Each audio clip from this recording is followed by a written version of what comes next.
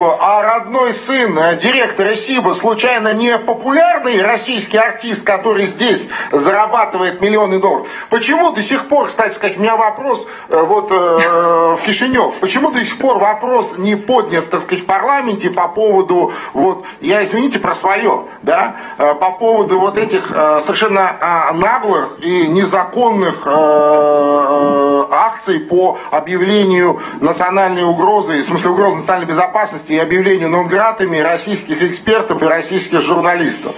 Почему до сих пор из России не выслан вот этот музыкант? Понимаете? Вот просто вот, а почему нет? По совокупности. Дан его зовут. Так, чтобы вот мне большой стесняться. Родной сын директора СИБа, понимаете, который ставил подпись под каждым э, протоколом о депортации российских журналистов, российских экспертов, в том числе и журналистов э, МИА России сегодня. Тем не менее, уступая перед напором Алексея, я хотел